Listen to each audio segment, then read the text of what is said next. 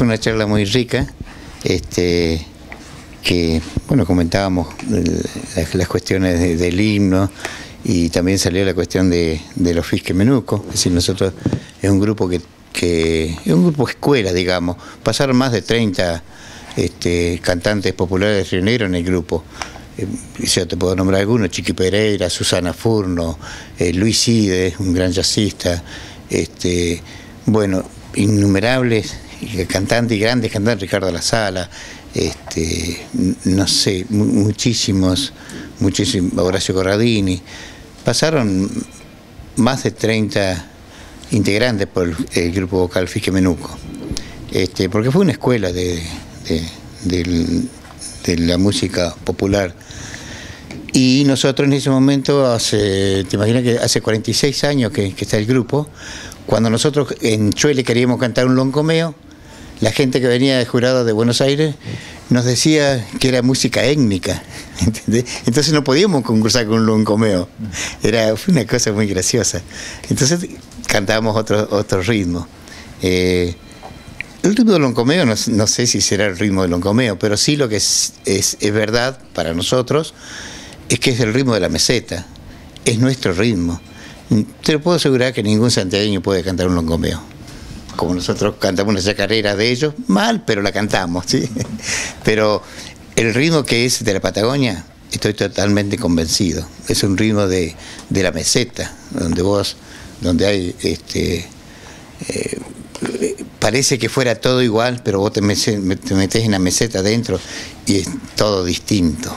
Y así es el ritmo del loncomeo, que parece que fuera muy, muy igual, pero no es igual, es como la meseta. Vos ves así, ah, mira qué lindo, todo, pero te metes y hay bajos, hay quebradas, hay un montón de cosas para descubrir este, hermosas.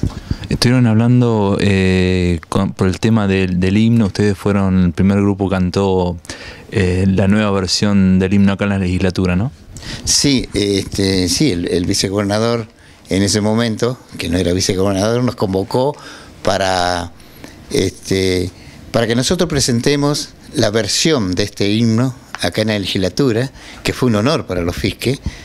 Y entonces después, a través de esa versión, se votaba si este, el himno iba a ser aceptado en la provincia o no, como himno.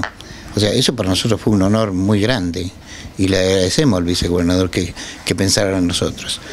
Y, este, y después me, me contaba que fue aceptado por, unanimidad. O sea, todo el mundo votó para que ese, ese himno se aceptara en la provincia, ¿no?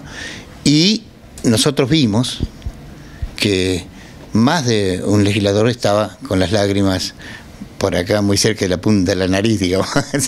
o sea, mucha gente se emocionó con el, con el himno y eso me pareció maravilloso. Eh, se habló de la posibilidad de firmar un convenio para difundir eh, la nueva versión del himno.